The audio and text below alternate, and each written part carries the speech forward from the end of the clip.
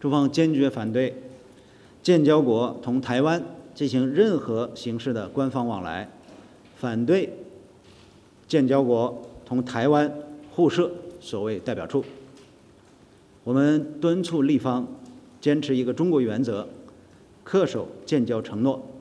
我们也正告台湾当局，台独是死路一条，任何妄图在国际上制造两个中国、一中一台的图谋都不会得逞。